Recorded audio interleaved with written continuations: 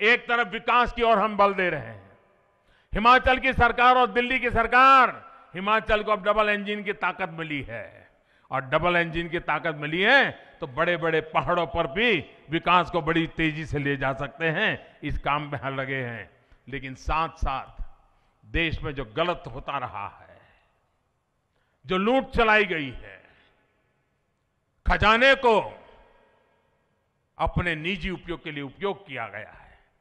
उसके खिलाफ मैंने एक लड़ाई छेड़ी हुई है। और आपके आशीर्वाद से ये लड़ाई छेड़ने वाला मोदी लड़ाई छोड़ने वाला नहीं है। आप हैरान हो जाएँगे। हमने अब डायरेक्ट बेनिफिट ट्रांसफ़र करना शुरू किया। सरकार जो पैसे हैं, जो हकदार है, उसके खाते में सीधे जाएँ।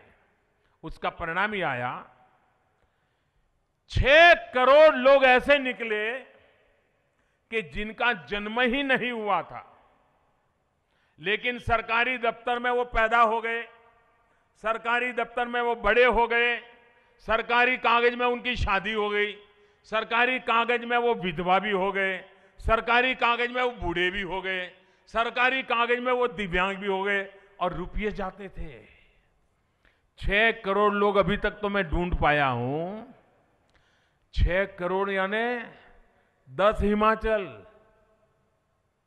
दस हिमाचल जैसे लोग देश में जो पैदा ही नहीं हुए थे, लेकिन खजाने से उनके नाम पैसे जाते थे जी। नब्बे हज़ार करोड़ रुपया सरकारी खजाने से लगातार उनके यहाँ जाता रहता था। अब मोदी ने सब बंद करवा दिया। छह करोड़ लोगों के नाम निकाल दिए। जो सही होगा उसको मिलेगा, हक का मिलेगा। और जो, अब मुझे बताइए, जो पैदा नहीं हुए, खजाने से पैसा जाता था तो कोई तो होगा ना जिसके पास जाता होगा? जाता होगा कि नहीं जाता होगा? ऐसे बिचौलिए होंगे, झोला छाप लोग होंगे, चेले चपाटे होंगे, कोई 200 खाता होगा, कोई 2000 खाता होगा, कोई 2 लाख खाता होगा, चलता होगा, नहीं चलता होगा? अब इनकी सबकी दुकान बंद हो गई। अब वो मोदी को झूठा बोलेंगे कि नहीं बोलेंगे? बोलेंगे कि नहीं बोलेंगे? उनकी चोरी बंद हो गई तो मोदी को चोर बोलेंगे कि नहीं बोलेंगे?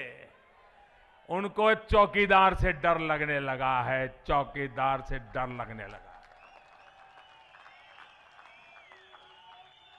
चोरों की नींद हराम हो गई है कि चौकीदार सोने को तैयार नहीं है, चौकीदार।